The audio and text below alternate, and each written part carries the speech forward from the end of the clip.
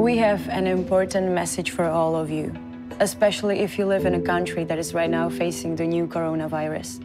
The pandemic is growing exponentially in many countries. But the Czech Republic is one of the few in Europe that has significantly slowed down the spread of the virus. We are following social distancing and the rules stay at home. We have strict hygienic procedures.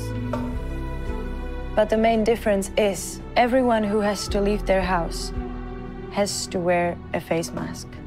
Masks fundamentally prevent the transmission from you to others by sneezing, coughing, but also breathing. So, when we both have a face mask, I protect you, you protect me, and we are both safe. According to our professional experience, a simple homemade mask can prevent up to 100% of the spread of potentially infected microdroplets. I know, face masks aren't in stores, right? But something incredible happened. People started making homemade masks and giving them to others for free.